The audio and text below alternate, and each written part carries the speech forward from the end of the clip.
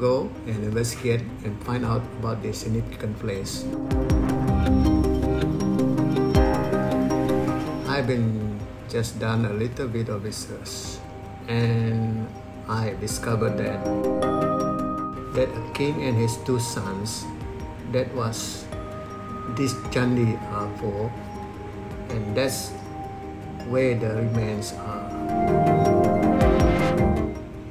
This here is without question is one of the most remarkable landscapes landmark in all of Thailand. And these three chandis are often kind of silhouetted when you see any kind of advertising or promotional material about Thailand and tourism board.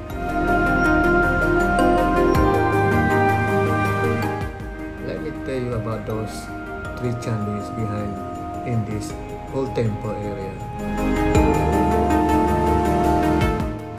This was the original site of the Grand Palace Ayutthaya Kingdom, but in 1448 there was a new Grand Palace built further to the north, and this place here was converted into a religious site.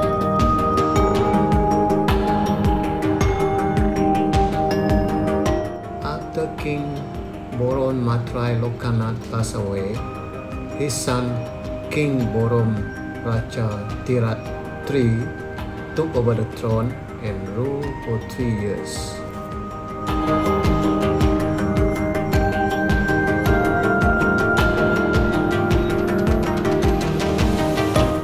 He too passed away shortly after his brother King Rama Tibodi II took over the throne.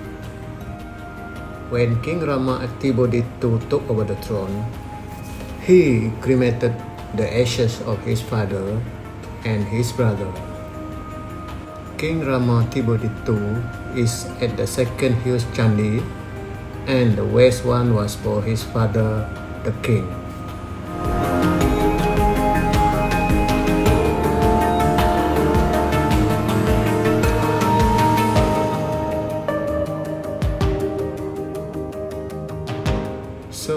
The furthest one to the west is for the father, and the one in the middle is for the brother who passed away shortly after.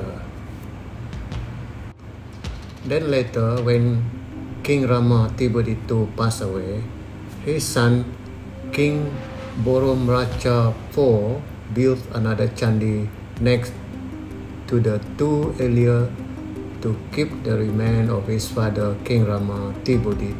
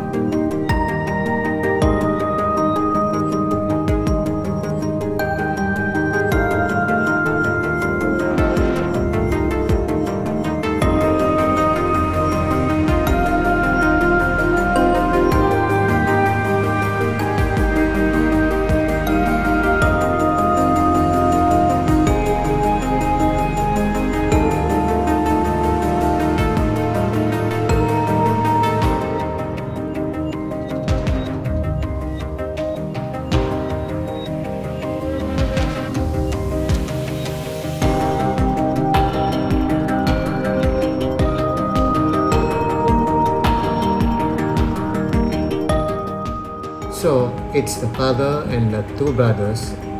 These are the Chandi and the remains are located